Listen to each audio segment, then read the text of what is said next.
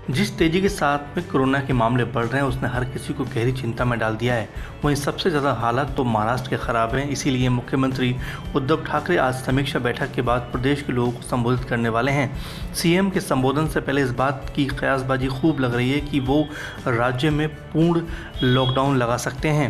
मुंबई के मेयर ने सीएम ठाकरे के इस संबोधन की जानकारी दी है। मेयर की तरफ़ से कहा गया कि संबोधन के दौरान ज़्यादा सख्ती बरतने वाले कानून बताए जा सकते हैं। आपको बताते चलें कि देश में कोरोना की नई लहर से सबसे ज़्यादा प्रभावित महाराष्ट्र के पुणे में नाइट कर्फ्यू तक का ऐलान कर दिया गया है। शनिवार तीन अप्रैल से ये फैसला लागू होगा और अगले शुक्रवार को इसकी समीक्षा की जाएगी।